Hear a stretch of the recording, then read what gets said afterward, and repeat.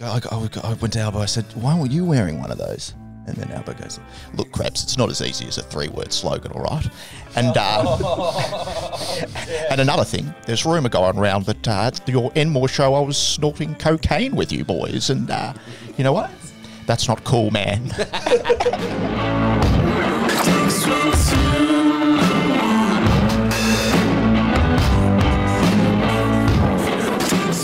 Hello, everybody. Welcome to the Friendlyjordies podcast. This beautiful Tuesday. I know that. I don't know the date.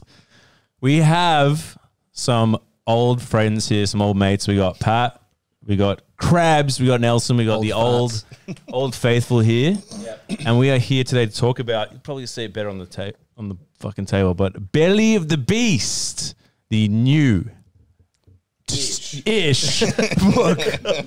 Thanks very By much for having us, fellas. Um, yeah, no, cheers. welcome, boys. Welcome. I didn't realize that um that the potty style now that the exclusive shit before was the the Spanish shit story and the microwave We'll have babies. to, yeah, we'll have to. I reckon we should have to. Yeah, we'll have to do that again. We're gonna do that again. We're Yeah, gonna do that fine. again. We'll have to throw some of that in there again. I, I forgot two, to be honest, bro. That's why I think that we should just not give this one out to podcast, and I think that we should have a discussion about business matters on the podcast, don't you? Yeah. yeah, that's the way to do it. Everyone's, I did think- everyone bring their tax returns? When's the last time Like, you come on, you- these guys don't do tax. When's the last time you've been in a fight, Jordan? When's the last time you've been in a fight? What kind of fight? I- mentally? where, where where he's like, yeah, fuck you, and throwing a punch.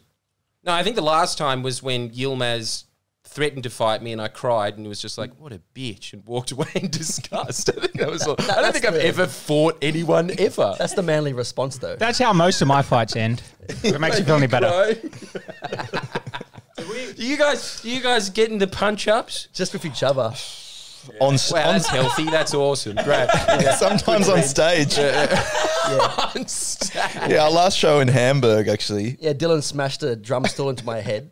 What? Um, yeah, because he um. Jerry Springer live. What's this? It was. it was exactly Be- that. Beaker, Beaker was sick. He had tinnitus, and so we had Elliot from the Delta Riggs playing the drums, and he thought we were going into Rum Rage, which doesn't have drums, so he went out back for, for a cigarette. But then Dylan just started singing, "I wish I could disappear," and like 30 seconds into that song, um, the drums are supposed to come in, but he kind of walked off, and so I kind of just started singing it.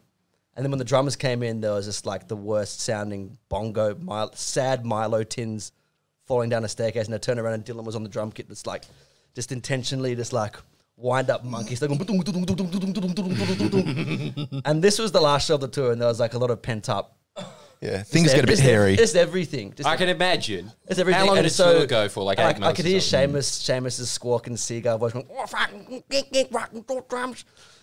He was on the other side of the stage and just like, Crabs did this, and so we all stopped playing. And then I, I turned around to Diz, like on the drum kit, and like had this pretty like serious somber moment where like I was talking to him, but like I wasn't talking to a mic, it was just me and him. And I was like, respect the band, respect the fans. Either get back on the microphone and sing the song or get the fuck off the stage. and then I, I thought he'd gone like, because he did, he went, and then he stood up and just sort of smashed me in the head with the drum stool. and um, and then just like, and musicians can't fight, so it just looks really pathetic. I don't know if you saw the Brian Jonestown massacre last week. I And heard about that in Melbourne. Yeah, I didn't. I didn't.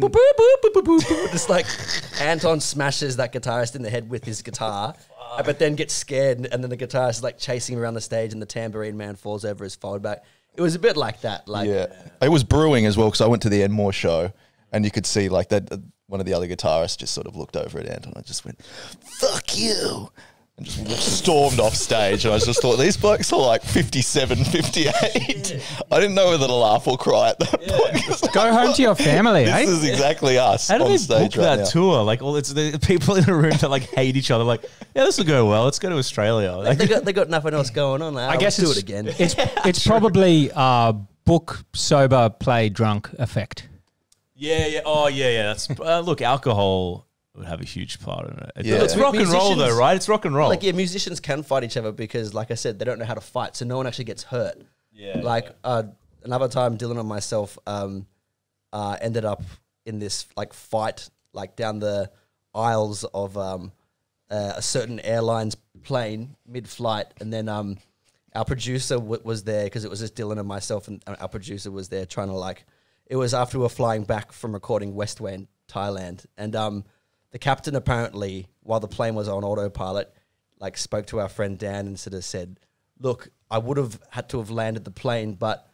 Technically, it wasn't a fight because not a single punch was landed. Are you kidding? Yeah, just, just these pa- pathetic, pathetic, weak losers, man. Like, we don't know what we're doing. But And to- I, I don't even remember this happening. You would have been so close. It's The- a plane. How did yeah. you miss? I don't know. It's not a boxing ring. You can't run around. The- and I, yeah, I, I got told all this by Dan later. I didn't even remember it happening, but the plane landed and there was this fella in a suit. Um, and uh, Dylan, I think Dylan must have forgotten too because we were just like walking together. What's some off ASIO guy? What's that? What, what's who's the suit? Uh, just somebody from the airline who was waiting for us in that tunnel thing. Okay. And Border um, Force. And um, yeah, and then he said, "Oh, Mr. Frost, Mr. Cornwall." We're like, yeah, and he's like, "Yeah, you're banned from Qantas." Oh, whoops. Um, anyway. and then Dizza goes. He's like, Insert generic uh, flying. Dizza's response was, "I don't give a shit. I fly a Virgin anyways." And then um, just walked off into the sunset without a bruise or a scratch. I think mean, I've- that is such a handicap, being a band and being banned from the national carrier. I mean, There's like, dude, they the Virgin doesn't fly to a lot of these places. it's kind of fun. The glory days are over too, man. The cheese toasting machines, where the fuck are they? yeah, I know it's bullshit. yeah, don't get me started on Qantas. Wait, I don't know. Uh, tell me about that. What's that? Cheese See, toast you wouldn't machines? know this, miss, because you're not a high flying celebrity type like us. I'm not. I'm just a pleb. But like, what do you? He, uh, dude, I just started being able to get into the Virgin VIP, and I'm like, dude, those coffees. As a guest, yeah. Nevertheless. uh, Hey, wait, come on. Before that, were you guys going into the chairman's lounge at Qantas, or no? You get any special treatment there? Uh, I, I was just trying to mourn the the cheese toasty uh, making facilities of the the glory days of the Virgin Lounge. Oh, okay. That's Yeah. what you were talking about. Yeah, Uh, well, yeah. I was talking about something fancier than that. But continue. Yeah, I wasn't actually talking about Qantas, um, but um, but yeah, cheese toasties. It's is so sick. good. Like all the all the worst corporations hate you, and that means you're doing something right. Like getting getting banned from Qantas, I'm so happy about. I dare say that's something that you guys might have in common. Uh, and I reckon that it's worth pointing out that there are some uh, pretty strong similarities between the uh, stories of Stickies and Jordan. Uh, and I think, you know, these guys have known each other for a long time, went to school together. I think it's um, that their the stories might be a bit more common than you might think. So I think that first of all, you guys are both independent success stories coming out of Newtown High, class of 2007, to be specific. True. That's right. That is, yeah. You You're- don't have to mention that, but yeah. You're both uh, independent. You've both taken your mates along with you on the road, giving people like Miss Love and me a much appreciated free ride. yes, but you guys have much more mates than me. This is this is it. This is all I got. and we get we uh we uh, get we get death threats, but no one's actually tried to kill us. Yeah. Um, Well, that well, that's the last one, uh, which which could be connected to that. Is that uh, according to some of the reliable Australian media, including pedestrian TV, you're both racists. yeah, all facts there. Yep. Yeah. Badge of honor. That's awesome. and true as well. And um, I've got to say this as well, Pat. I think the funniest footage I've ever seen in my life is you mouthing off on Triple J. We still talk about it to this very day. We can't find it anywhere.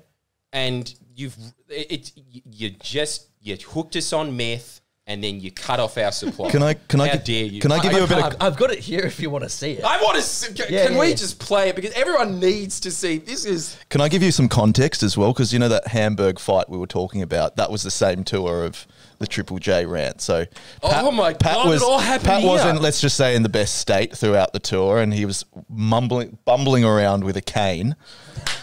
He bought some little BMX bike for about two thousand euro. I, I got I got hit by a car in Philadelphia, and then rather than actually seeing a doctor, I, I was just medicating myself with Xanax, and I, I bought like I'm gonna buy a cool cane.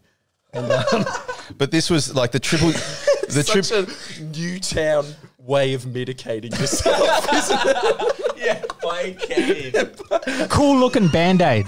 It's got a wolf head. Cool. Where was this? So, so this rant was on what the boat from Liverpool to Dublin or something, wasn't it? And, and the No, it was first it was Guinness English- was it poured at English seven to a.m. French Channel crossing. Oh, yeah, yeah, okay, Yeah, okay. yeah. Same shit. Yeah. Fuck your guys' lives are fun. We did. We did. So, like you, you know, just before we get into that video, I've just got to make this point because Miss and I have been talking about this a lot ever since we heard that you were coming on the pod. So, as, as you said, this is a long six month stint that we've been thinking about this. I swear to God, like rock and roll isn't what it used to be, man. And like you guys are the last rock band. Like who else does drums and guitars and is successful these days? Like not on Central Station. Who's doing it? I'm glad you mentioned the music side first. You know, we're not the. We'll, we'll get to the You other guys still stuff. get fucked up I've, I've found. I've, I've and do it well. I've located the video. Um, I'll just do it like this. Stand by your words, Petty. bullshit and you're a bunch Oh, shit. Wait, wait, wait, wait, wait, wait, no, you can't. Just we gotta. Here we go. I wish we could show the people. because you play fucking Oh, hang on, hang on, hang on. It goes for longer than that. it does. So did we're we in see part like an edited version? Did we? Hang on. Here it is. Just give me one Oh second. my god, this is like Once Upon a Time in Hollywood. There's a five hours director's I mean, That no one else has the fucking cojones to say in Australia if you're a musician or an artist. Triple J, fuck you and your fucking artist repertoire. We don't fucking need you. We don't want ya because you play fucking bullshit and you're a bunch of fucking maggots. Okay? Over here in the UK, doing what we fucking do, you can do what you fucking do. Stay in your corner, stay in your fucking lane. And then Where did the cane The come cane. from? What is the That was just pure artistic inspiration at the end. The Just cane knock. smashing your own phone. Is that what happened at the end? You're just like, oh crap, I needed that. Like, The cane KO. look, I was just a bit. KO'd it. I was definitely like in a, a very heightened um, version of myself that I can turn into from time and again. Um, I was also definitely like having, I, I just I was having fun. You know, the thing I didn't consider was that um, all my bandmates were just like sleeping and they were just going to wake up to this absolute shitstorm. Um, oh God! Like, what the fuck have you done? And I was like, uh, yeah, someone had to do it. So are you just the problem of all social media ills? Because it seems like 50% of your stories always end in, and then I posted something on Instagram at 3 a.m. Pretty much. yeah. I feel like I've gotten better. Have you gotten better over the years? I think so. Better Look, at I, posting. I, yeah, look, better or worse, because I honestly think that that was just, that that's the best piece of Australian content since The Castle. that Thank was you. amazing. Thank you. And just a great message as well. And you said it better than Kerser did. This, this was a cool thing that I liked about Stickies and Kerser, and I'm, I'm a huge fan of both, was that you actually did literally putting the middle finger at Triple J. Would that have been possible before that camera phone existed? You'd be done. You'd, you'd, you'd be working at Woolies. Well, that's actually kind of what got us linked to like this whole Western Sydney community that we didn't actually know worked. It was actually that video that almost, in a way, was the rippling effect that ended up getting Chillinit as a support on, the, arena tour. Who who's the main support on the book? What's that guy like? And don't worry, you can bitch about him. I'm sure it won't go. He's the Lebanese limousine. He's the he's the the, the, the, the kung fu cucumber. Um, he's a sicko. He's a lot. He's a lot. He's he's a he's very fast. Like he's um he's hard to keep up with, but he's fiercely loyal. He's a family man these days. He is, but um, He tried to. He got asked to do like a version whilst he was on tour with us. yeah, and he told Triple J to suck a dick from memory. Well, because he want, yeah, he, he said he wanted to cover how to fly, and then they said, well, you can't do like a version. Yeah, so shout outs to Chill for that one. Absolutely. wow, what a guy. Yeah, Well, he stood in your corner. you did. Mm. When uh, few That's others awesome. would.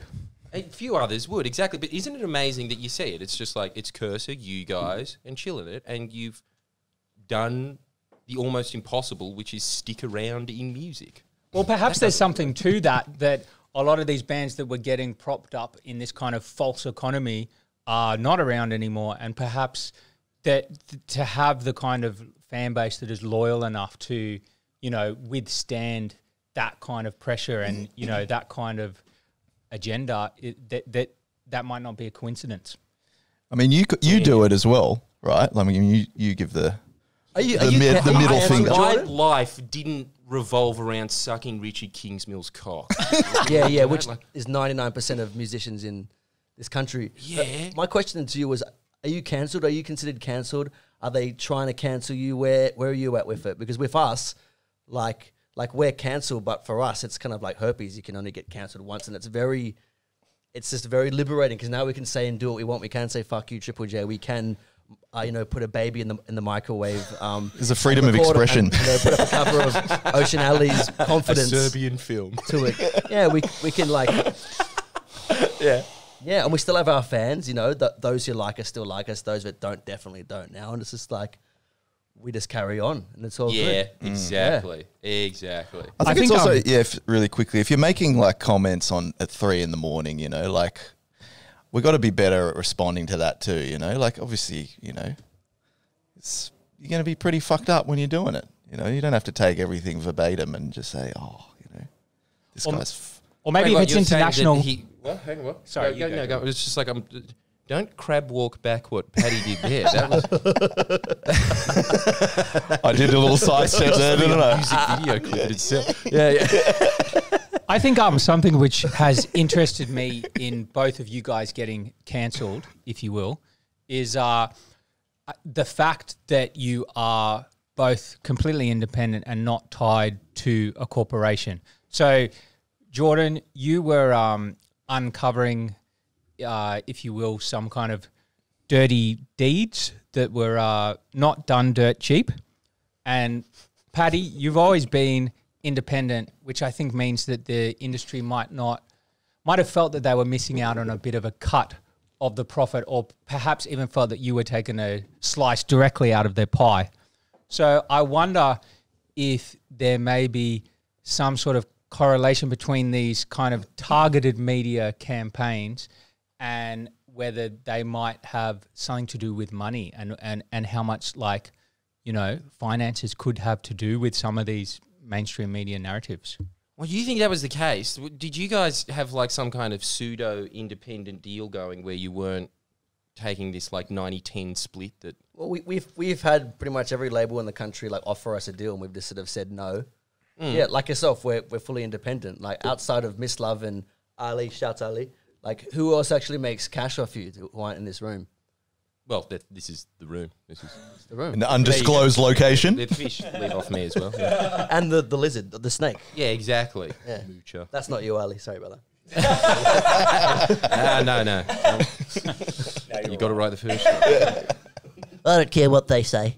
Can I? Can I? I wanted to throw you guys some my because I read the book. My Oh, you can read? I can read now. It was these are my favorite quotes from the book, so I was going to read them out and then like get your thoughts on the quotes. What do you reckon? Love it. You down? Into it. Love it. because yeah, we sort of talked about. We, I totally forgot that we have a pre-show, so I was like covered a sh- bunch of shit before. But uh, obviously Nelson wrote the book. How, tell us a little bit. Tell us a little about the process first, and I'll do that. How long, like the tour, the state, like the, the stadium tour, all of that. It sounds like it was just see the movie Almost Famous.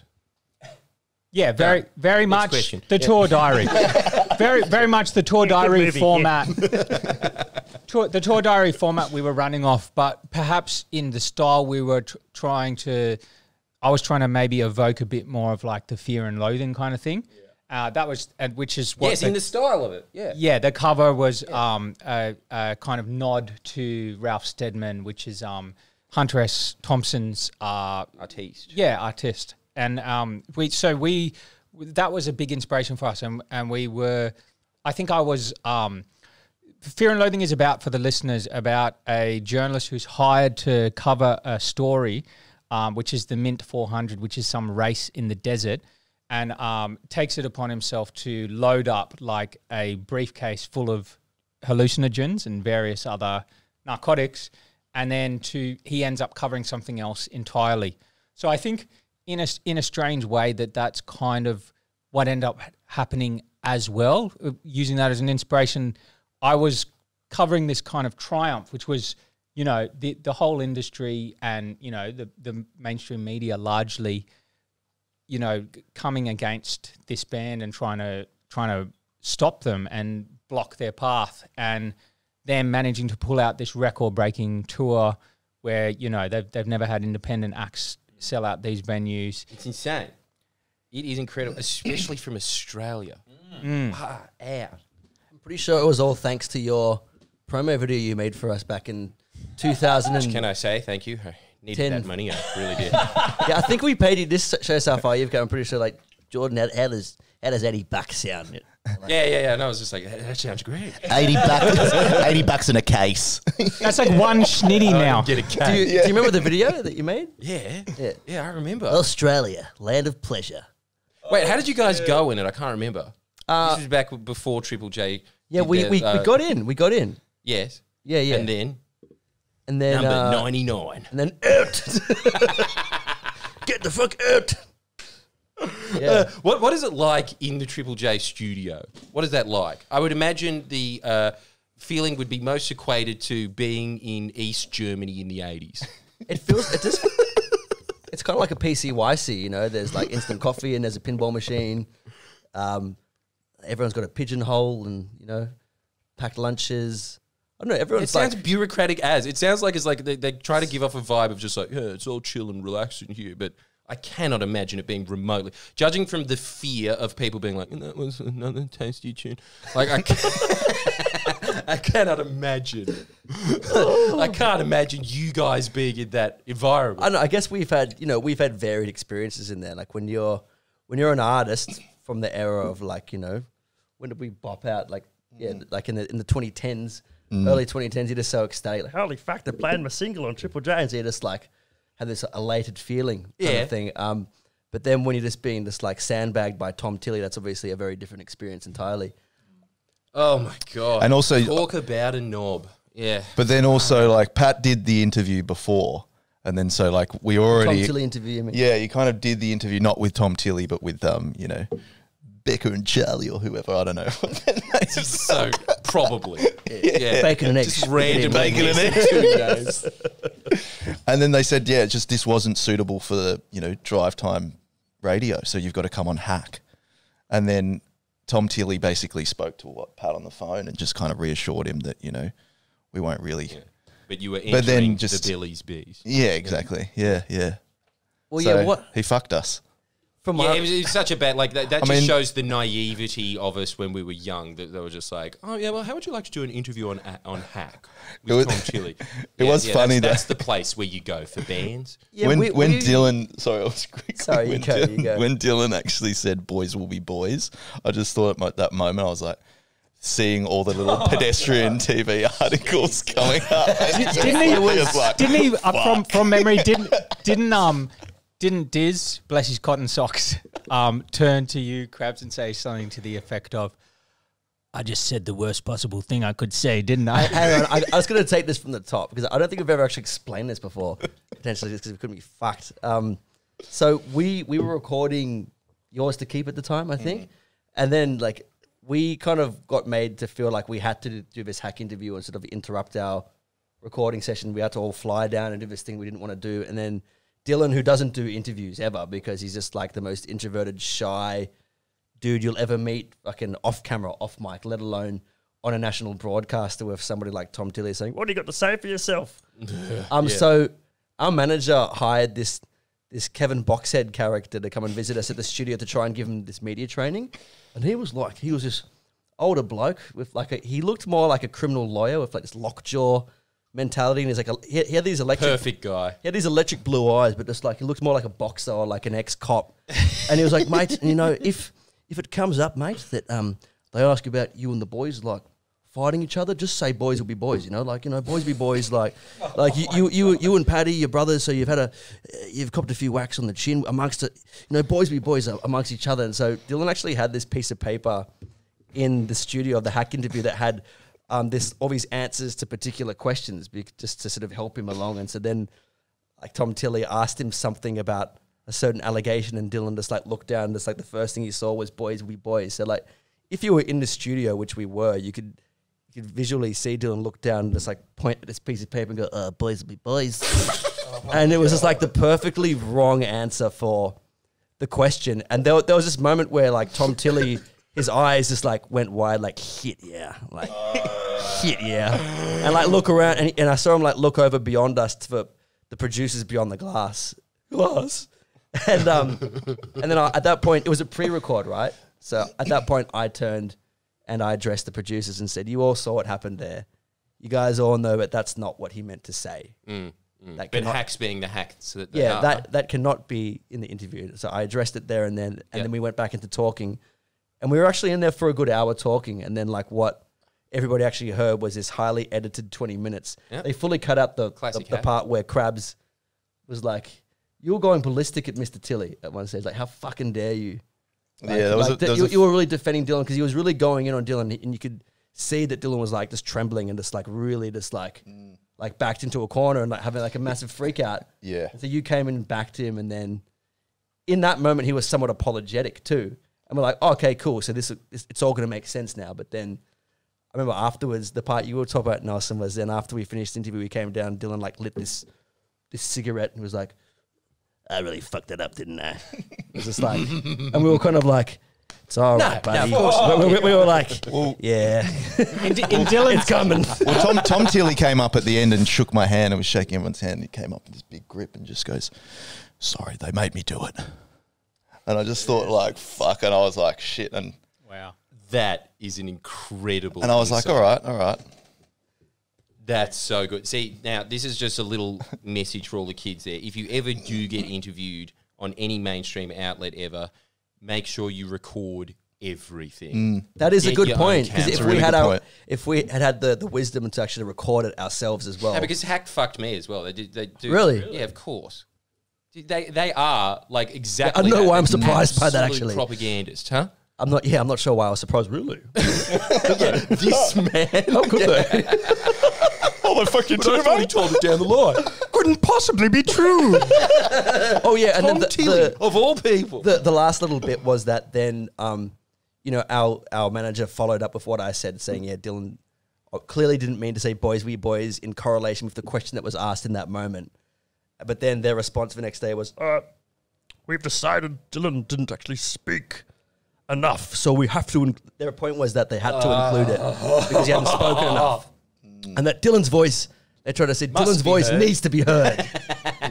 Oh, Triple J. Um, yeah, and so you know, so naturally at that What point a in time, you pack of know, savages. fuck you, just naturally fuck you. I just like that Yeah. we hired political PR. And it's just. yeah, we this big- tried. Mate, and so and so, Yeah, yeah, Mate, yeah, just just deflect the question, say boys will be boys, and get out Just of got to there. take it like a right hook, Mind mate. it's still 1981. And yeah. I think he was charging something stupid like 500 bucks an hour or something. Oh, yeah, well, he was worth his Fucked up. money. yeah. Like, because it's a good industry. Because if you got all these politicians about to, you know, they're cheating on their missus or something and they're about to lose it, yeah, yeah. it's like they can charge whatever the fuck they want.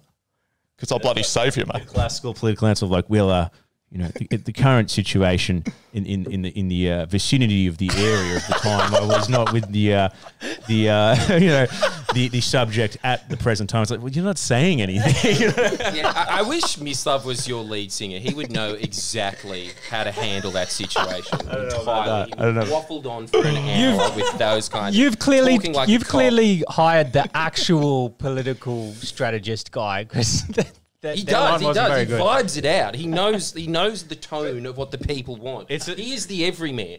You know, like Wait, he so you- knew Trump was going to win. He's So that kind of guy. the strategy is just to bore the fuck out of everybody. Uh, so uh, at the end Yeah, of the yeah, day, um, uh, You have mo- moving forward at Yeah, the end yeah, of the day, uh, yes. uh, uh, yeah, yeah, yeah, yeah, yeah, yeah. Don't answer All right. anything. That's it. uh, from now on. Yeah, yeah. Yeah, that's it. That, yeah, Well, shout outs to, to Tom Tilley if you want to have them back. They're ready this time. yeah. You'd be desperate enough for the ratings. Let me let me let me get my quotes in. I'm trying to be a, media, a moderator here. Top four quotes from the book, and this might fall into what we are just saying. The first one: life is a laugh or cry situation. Yeah. I think that's pretty appropriate. You know what I mean? yeah, that was Jimmy, our tour manager. Yeah. Did he say that? Yeah, yeah, yeah. Because you know what I mean. When shit hits the fan, a lot of the time, like those are your options, or they seem to be the best options. You know what I mean? Life is a laugh or cry situation. Yeah, Yeah. What Um, do you do? Bit of both. Most crying. a bit of both. Uh, all right, but then I'm gonna hit you with the yeah. So this is the second one that I thought was cool. This is about obviously the band, The band. the band. band. Uh, there are artists who keep drawing from the same well, and those who keep searching for the accidental feeling they got the first time. Yes, I That's- think that was a uh, Was that a Dan Hume. That was actually a Dan Hume quote, um, explaining uh, how he saw stickies perhaps against some of the other bands that are a lot of them might be uh, like signed to a record label where where I think um, they might be uh, given a bit more direction and and have perhaps a little bit less creative freedom with their sound. Um, and so I think you guys have always uh, managed to push your sound f- from starting with that kind of reggae infused rock. You've explored a cocktail of sounds. But actually, while we're on that, I, I actually believe that you guys have done the same thing. And that's another parallel, which is that, Jordan, you know, you started with that sketch comedy, which um, was unreal and, and everyone loved it. And then you sort of segged into that, uh, you know, very hard hitting political satire with time. So I think if, if I might take the question and throw it back at you both, how important would you say creative evolution is to you both? I wish it wasn't important. Man, I would like to just be peddling out the old ACDC classics, the same song every hour. That'd be great, wouldn't it? Yeah. D- don't you feel like we just grew up in an age where that is just not acceptable? That you spend 10 years mastering your art form, you do your little act, and like, ta da, and everyone's like, yay. Now do something completely different. You're like, that's your like art. And they're just like, I'm bored. And you're like, no, no, no, I can, I can keep dancing. Like, Juggling That's, like Look, chains. that's the whole thing. I, I just don't. I'm not convinced people actually know what they actually want. If they're actually in touch with what they actually. What do you want? Like before artist or the or the audience? punters. Like before we were talking about Brian Jonestown massacre in Melbourne last week, and how the, the show ended with a fucking meltdown. Which is like, if that band is anything, that they've been consistent since the early '90s. Like they, they're fully fucked, and like it's been consistent. But then you get all these like ham sandwich motherfuckers in the comments like, oh, I had to drive from Barrel and stay in this hotel, and I came and they played six songs, and then the guitarist threw his guitar. and then Shut up. but this person it's like do you realize what band you're actually a fan of because i think if, if, if- yeah, Have you seen yeah. Dig, right? yeah The right like yeah. if you really think about what you're attracted to it's the chaos. And i'm not trying to say the chaos is always necessarily like you know like people smashing each other in the head with their guitars but like it's it's the the, cha- the chaotic energy which is like a big part of the music that is made too or the sections that you make. Like you're you're virtually like a, a gangster for your brain lad. You know what i mean? Like like you know Thanks, lad. yeah, bro. Or are you a thug? Yeah, you are kind of a thug. Well, going How, back, to, how going back beautiful, how beautiful is it though? Location with your snake and your fishies. Like this, I was in saying the massage before, chair. This apartment looks like like Lefty's apartment in Donnie Brasco. Eh, never got made, you know. All I got is the does, fishes. doesn't it? Yeah, yeah, yeah, totally. He's taking my prized possessions because I'm on the move a lot. Well, going back to sort of like giving the people what they want, uh, I feel like we're, we're on a pretty good uh, triple jerky kind of run here. So, Paddy, do you want to tell the listeners about what Triple J used to say to you guys at that early stages about your music and, and your sound and why they didn't want to play it? Okay, here's something that people don't know. Jordan, you probably like this. Is that um, I'm not sure if this is the case anymore. I think it's not. I think it's like send us a Dropbox link in terms of trying to get your song serviced. But back in the day, it was a thing where you had to get that elevator up there and you had to serve music in the flesh with, with a CD-ROM, not a CD, right? Your CD-ROM, yeah. And um, Wow. you have to like walk past all these big stacks of CDs and people sort of hidden amongst these towers of CDs and at in the far right corner and the walk is like a like a good 10 meters to get over there, there there's Kingsmill with his back to you and he actually has like this rear view mirror like one of those circular rear view goldfish styled mirrors so you can see who's coming and the, the first two or three times that we took our own singles in like it was just sort of like name sticky fingers like yeah and he'd like put it on top of the pile up here. So that was kind of the That experience. spider in Spirited Away is just all these. Come on, G. Finish what you started, human. um, what was the question? Uh, so so i i when when you were originally servicing, so going Oh, through that experience visiting Kamaji. Right, right, right. What Uh, was eventually, eventually, we got a three-word reply from Kingsmill after single four or five, which was "How to Fly," uh, and his his email to us was "It's too reggae." which is sitting at I think about 70 million views now on YouTube alone. So that if you try to if you try to pander to what the people want, Mm. then you end up like those bands we were referring to before that nobody knows who they are anymore. You know what I mean? That's such a good point.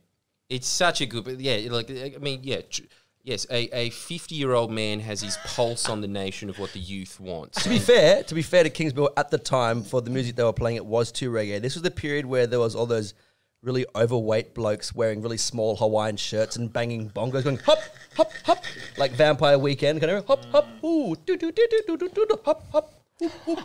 And if you did that, that's how you got. I actually think, funnily oh, Or enough, if you were Fleet Foxes.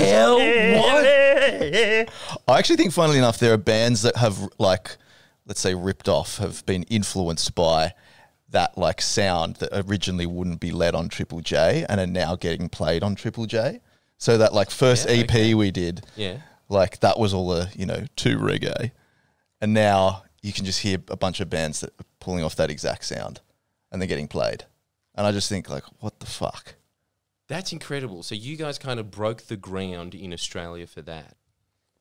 I mean, Yes, you know, be the judge yourself. And Turn so on- what, now you now turn you're on like bored of it 105.7. and You're trying to explore new avenues. Mm. I guess And so. now- I mean, now well, the question Dan Hume, do your fans when you do that? Do they boo that? The, like, like I don't know, Metallica just being like, "Now we'd like to try something from a new album," and everyone's just like, "Shut the fuck up!" Like, No, is we, that- we've been pretty lucky with that. Yeah? To be honest. Mm. Yeah, yeah. Our fans are fucking sick. That's why none of this shit has really mattered because the the people that did come to our shows still come to our shows.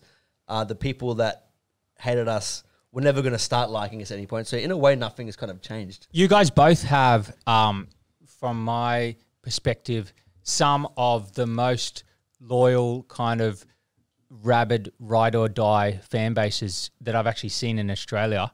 Have you ever considered pitting them against each other to see what would happen? Yes, I'm sure my uh, Do you mean like a- theatres an will do wrestle? very well against an arena of people. Yeah, it really is the Spartan 300, isn't it? Are you are you boys are you boys going to go watch Limp Bizkit tomorrow night?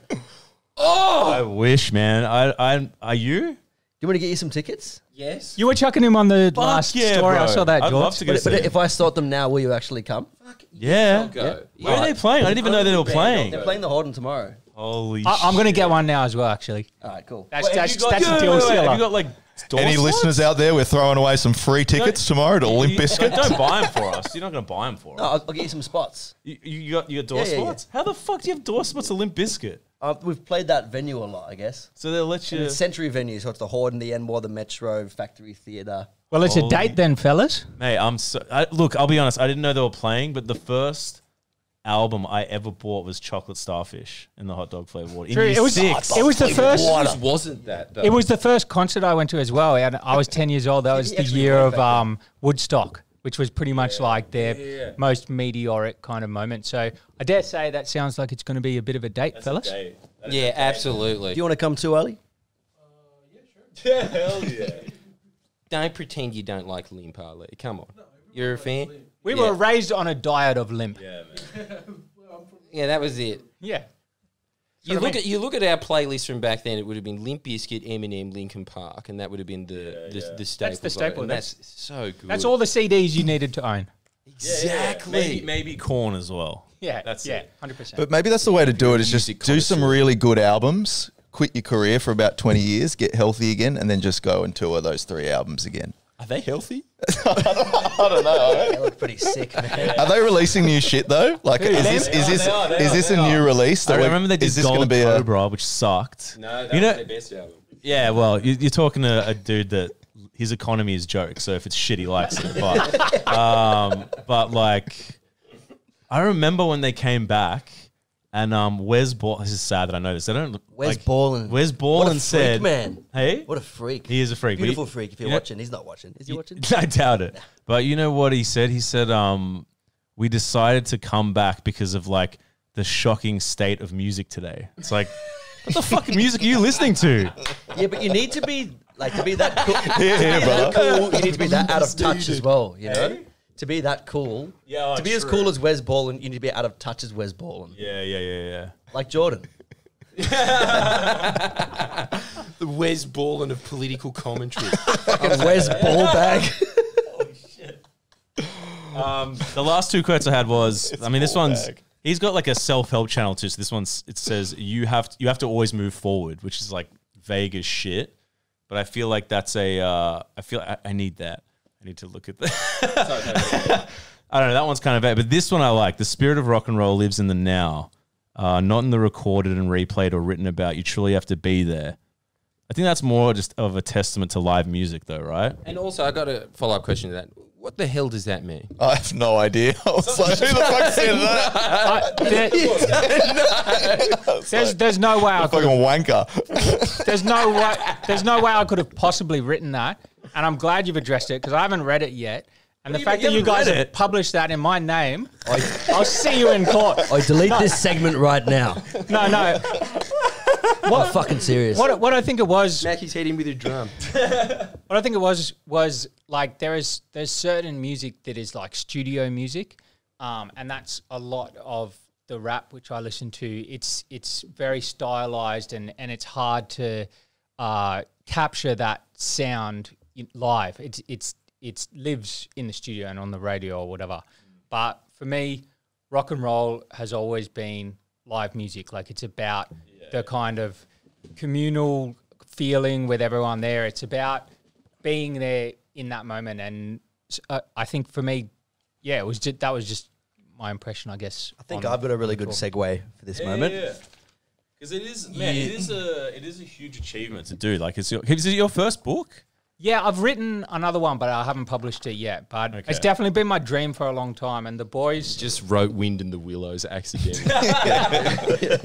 fucked around and uh, punched out Wind in the Willows. But to, shout outs, shout, burner. out, shout outs to the boys and particularly Paddy have always um, supported my writing for a long time. They've known that I've been chasing this for a, for a long while, and they have always had a model. I think where they. You know, get their mates involved rather than working for a label Right. where they you're directed to who you work with. Do shoot this fit video. This guy's hot. You know, do this. The boys have actually You are hot as well, by the Yeah, way. yeah, that's taken care of. all right, go on then. But ultimately, I think the the boys have actually started a lot of careers. A lot of our mates have gone on to start filmmaking careers. They worked on the videos. Um, a l- lot of artists that they've worked with have gone and had you know illustration careers. So I think that was why Paddy wanted to give me a shot, and the band wanted to give me a shot to um to come and tell their story. Oh, man, so you're, you're the funniest cunt I know to this day. Thanks, bro. and to answer your question, Miss Love, yeah, yeah. Yeah. You know who's rock and roll? Tell me. Anthony Albanese. Yay! Oh, yeah. Okay, yes, we have. That has to be covered. That there he is, the prime minister. Mr. Speaker.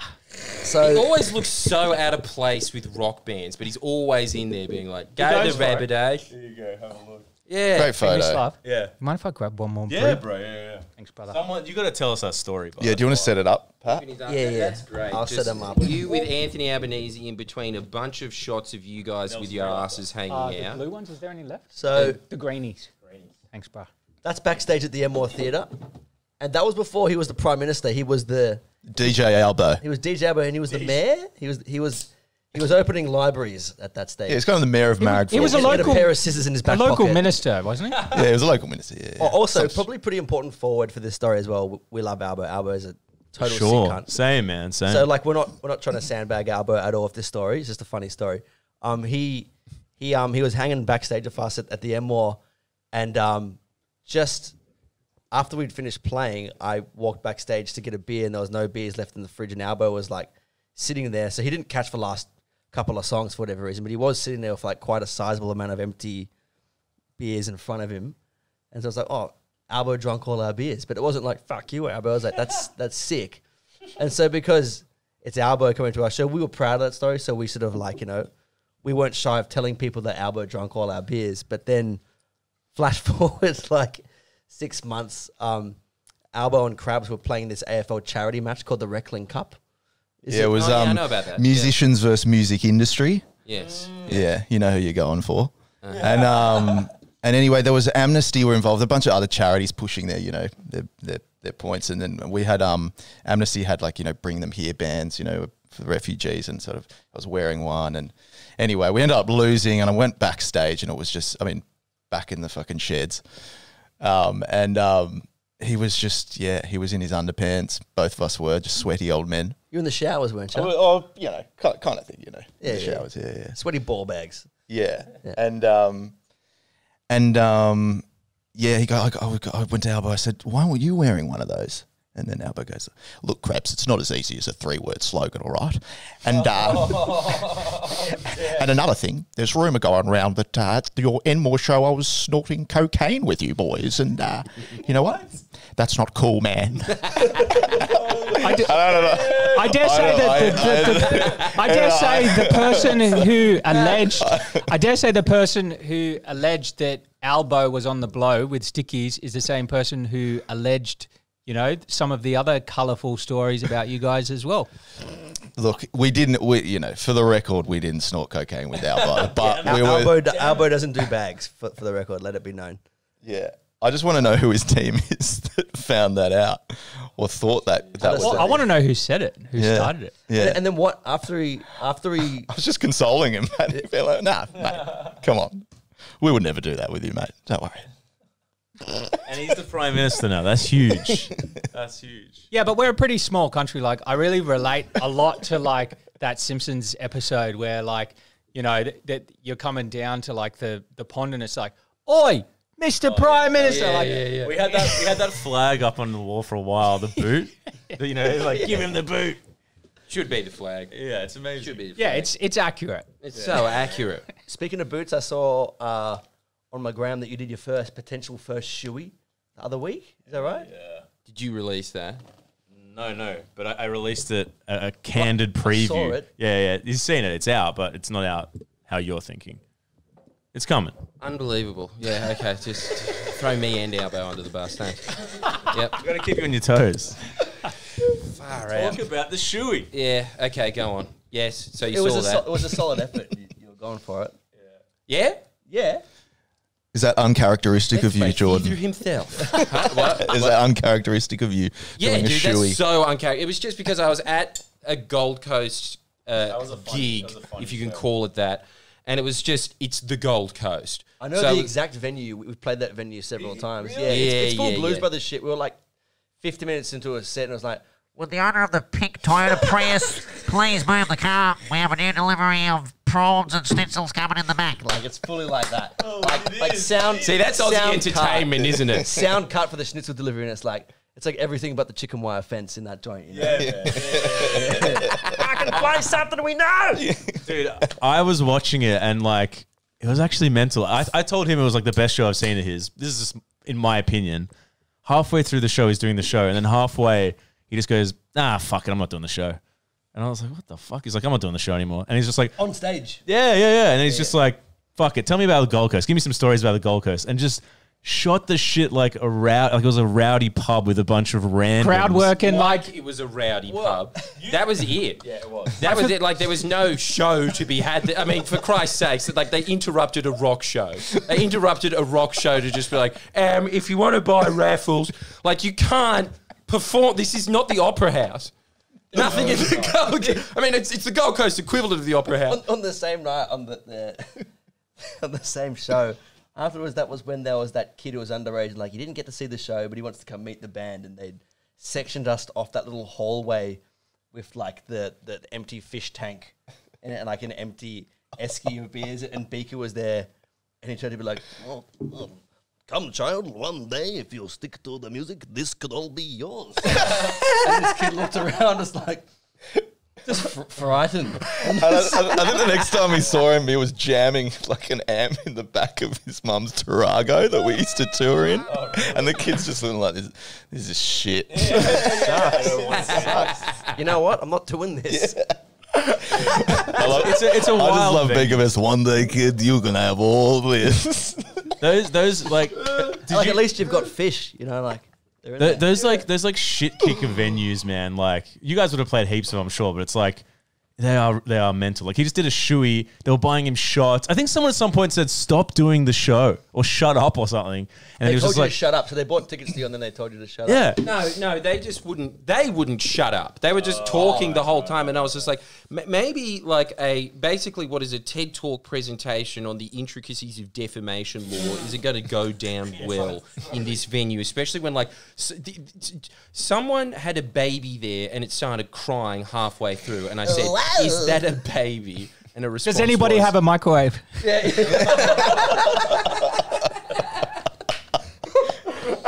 that might just be me.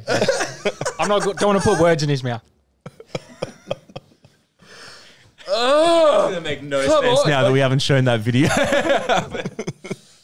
Oh yeah, yeah. Uh, to fill everybody in, uh, first off, you can sign up to the podcast to see the uh, official video in question. But the boys were showing us their uh, f- manufactured beef with Ocean Alley, where they started singing "Confidence Baby," but replaced the lyrics "Confidence Baby" with "It's a microwave baby," We and they put a very realistic, baby. yeah, into the microwave. Yeah.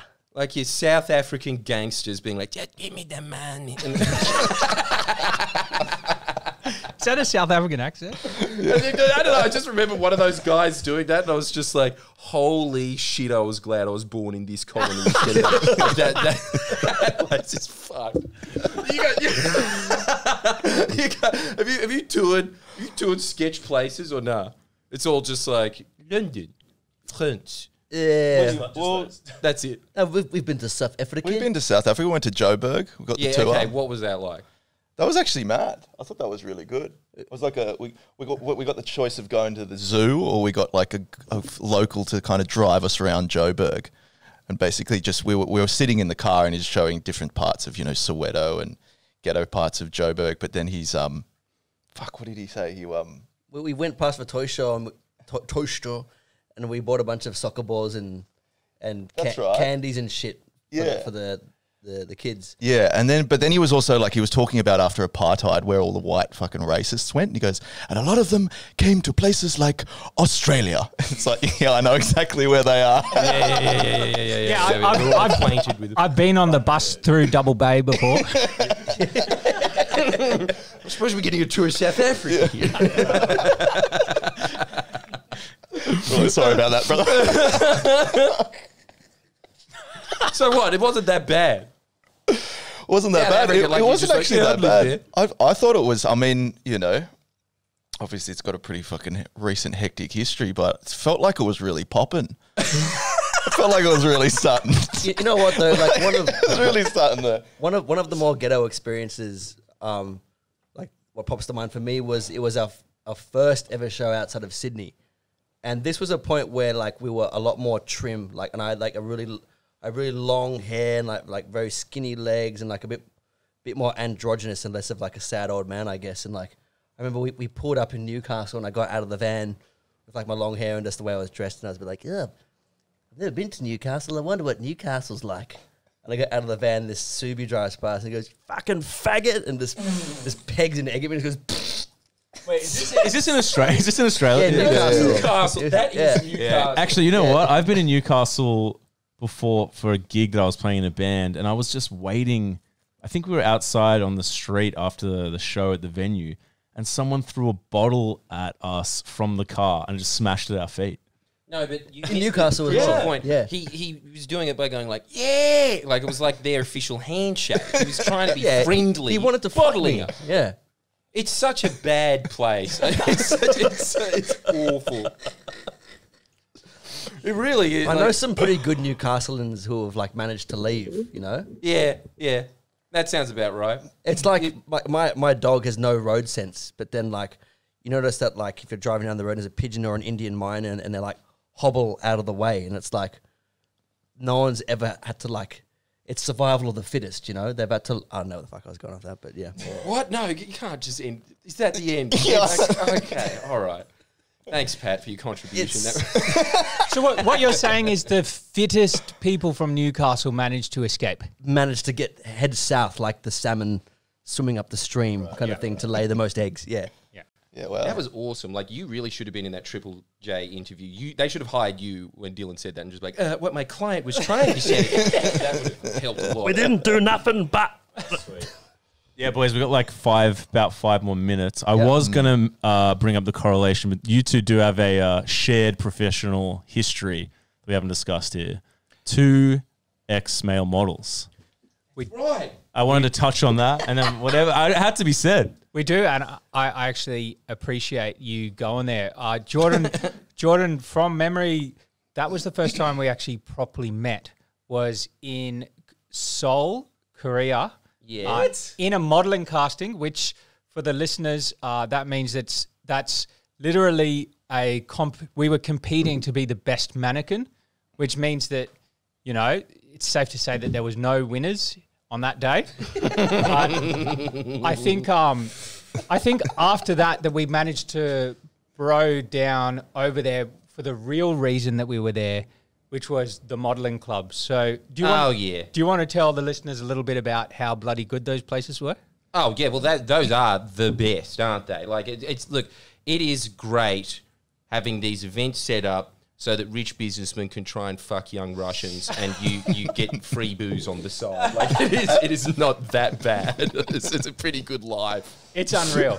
It's pretty good, yeah. So they're basically these clubs where um, it's like this this economy where they basically want to get models in there, um, and they they get these uh, seedy kind of deep sea creature looking salary men to uh, finance these bottles of Belvedere, and they give them they ply the models with them, and it's basically about getting girls in there. But I think Jordan and I were lucky enough to get the kind of default ticket in there, which me whereby we were just kind of around the girls and maybe friends with some of them, and they wanted to have some guys there to feel a bit safer in the club. Yeah, I'm assuming, yeah. Something to That that must effect. be it, yeah. I don't know why they were there, but why we were there, but anyway, so we would get to go to these clubs, which were like super fun. The, I, I believe it was uh, it was Club Eden where we managed to have a little fist pump together. Yeah. Um, which was club. It, it was in the heart of Gangnam, which and this was before Gangnam Style. But I like to think through the mists of time that maybe we were helping to develop that dance a little bit, or maybe just blacking out on the free Belvedere. Yeah, you, you coined it. You guys, look, we can claim that. You wrote it. You wrote the song. Can we go there? Yeah. So, okay, so so Jordan and I were we were creating Gangnam Style, but yeah, these clubs were like they were cool because they had this kind of sense of danger where they had these these kind of seedy businessmen circling the booth like sharks, and then there was also this underworld. A lot of them. Uh, you, where did you model again? You modeled like in uh, a lot of Southeast Asia, right? Southeast Asia, where did I go? Most of Asia. Never got to Japan. They didn't like me. Uh, but yeah, I think most of Asia. So close. Yeah, that was it. I, I, Yeah, I, I got to some of the Japan ones, and they were all run by the Yakuza, which obviously made it a lot cooler. Like it was just Yeah. like the seedy salarymen were were just gross, but then it was like the Yakuza, like the most stylish mafia of all time, like impeccable suits. They're all around, and I mean, yeah, I mean, ultimately, like it was just pretty great. I still don't know what you guys actually did. we, we just told you. That's what we did. We- that, that's what happened. Wait, start again. that was it. Where am I? That's what you do. You just hang around a bunch of gangsters and, and, and essentially prostitutes. That's that's what happens there. And then sometimes, every now and then, just out of nowhere, there's a, a shot of you just being like, "New PlayStation." Whoa, that's the job. But ultimately, it, it was it was sick. it was about the clubs. I feel like that's why we were there. Huh? We were there for the clubs, right? Yeah, totally. Like that was a great way to um, just I, I don't know, like I think as a male model, that's all you can get until you get about 40 and then you can make a living out of it. But until then, you are just scraping around clubs and living off the alcohol and pretzels. Living off free Belvedere. So It's really weird just being at the orbit. A- a- As a male model, usually, yeah. And unless you're like the absolute elite in like uh, Europe or something, women just make insane money. That was so annoying having all these like loud Brazilian women just being like, I just made twenty thousand dollars. My mama in the favela can have the transplant. It's just like I don't want to take twenty grand. And we're, we're sitting on like we're sitting on like twenty dollar catalog rates, like day rates, twenty bucks. We're like, oh, that can't be right. no, but I think just chicks just sell more clothes. Like it's a They bigger sell more clothes. Yeah, the only thing that you get as a guy is when you are old enough to be like a silver fox. Uh, George and then you Clooney, like sell selling cigarettes. Yeah, like, Espresso. espresso, espresso, machines, cigarettes, yeah. and jeeps, And that's no what you do. tequila. Yeah, yeah. That's it. So we neither never got to have the taste salt and the pepper. highlight. Yeah, yeah. Yeah. That's me- that's mental. You both met over there for the first time. That's correct. I didn't know that. Yeah, I, I think I knew that we had some like mutual mates like Gabe and stuff, but I think that was the first time we properly met from memory. Yeah, I think so too. But I can't remember it at all. I, can't, I can't. All I can remember is just a blur of clubs. That was it. It's amazing that you have that. Yeah, the Belvedere does do a number on your memory. Yeah, evidently, because I was just like, I was in Gangnam, you know, like that's crazy. Thank you. Um, unless you guys wanted to close on anything, do you want to stick around for the up late? You keen? Yeah, One more? honestly, why not? Yeah. I can't remember from like the, the, the exclusive Patreon while Jordan was like circling around the block in his in his um in his motorcade Yeah. while you were offering us those corned beef sandwiches in the lobby. I can't It's the good remember stuff. if on this section we actually told the people that Nelson had written this book or not. Did we? Have we that? talked about the? I can't even remember. Yeah, I think we mentioned like We did, Jordan's we did. time in Korea. yeah, yeah, we did. We Just did. in case we didn't, Nelson wrote this book about our band, and you can get it. And thanks for having us. Plug it and- Nelson, plug, plug hard. yeah, well, uh, Take this. And I reckon we can maybe Show it to the camera. somewhere in the up late. We can do something like that. But um, yeah, it's out now. Give us the plug. It was great. I've read it, and it was bloody a breeze. It is a wild ride. I just read like it was mad. It was really interesting. There's a lot of pictures. which is always good. Helps. Yeah, yeah, it's always helpful. yeah, cheers, boys. Nah, so So good. Just denigrating Cheers. it to a picture book. cheers, boys. Cut, cut all the words that I wrote out for you, and just stuck pictures everywhere. I didn't agree to that shit. no, boys, I'm, I'm not much of a plugger, but uh, you know, Belly of the Beast available now. Uh, and thank you so much for having us. And just lastly, I'd like to also give a shout out to uh, Forest Hall and everybody. Let's run up the numbers on their latest single, "Finding Out on Accident." That's very sweet of you, young man. and uh, But- al- also Rip Millsy as well. oh, cheers, cheers, man. I appreciate that. I appreciate that. Lovely bloke. Yeah, no, um, yeah, no, thanks, boys. Thanks heaps for coming down, and we'll, ca- yeah, thanks for tuning in. Stick around for the up late, join the Patreon. Yeah, we'll see you soon. Cheers, everyone. Peace. I don't know what you just said.